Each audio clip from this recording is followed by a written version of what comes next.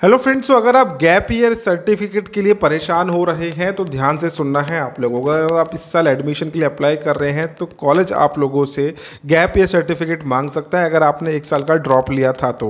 ये तभी वैलिड होता है जब आप ड्रॉप लेते हैं। अगर आपने ड्रॉप नहीं लिया, आप इसी साल पास आउट हुए हैं, आप इसी साल एडमिशन ले रहे हो तो गैप ईयर सर्टिफिकेट की कोई ज़रूरत नहीं होती। अब मैं आपको समझाता हूँ गैप ईयर सर्टिफिकेट होता क्या है।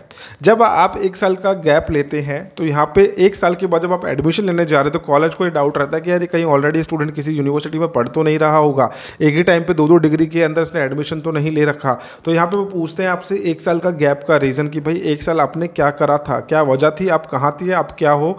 ये सारी चीज़ें पूछी जाती है। तो यहाँ पे गैप सर्टिफिकेट में क्या होता है कि आप लोगों को एक एफिडेविट बनवाना होता है नोटरी के पैड पर जिसपे आपको लिखवाना होता है। किसी भी कितने भी रुपये का स्टैम्प पेपर हो सकता है पचास रुपये का स्टैम्प पेपर होता है उस पर आपको अपना एक वैलिड रीज़न लिखना होगा कि मैं आ, मैंने ड्रॉप लिया था मैं पढ़ना चाहता था एंट्रेंस की तैयारी करना चाहता था मेरी मेडिकल कंडीशन ऐसी थी मेरी जो इकोनॉमिकल कंडीशन थी, उसकी वजह से मैंने जो है एक साल का गैप रखा।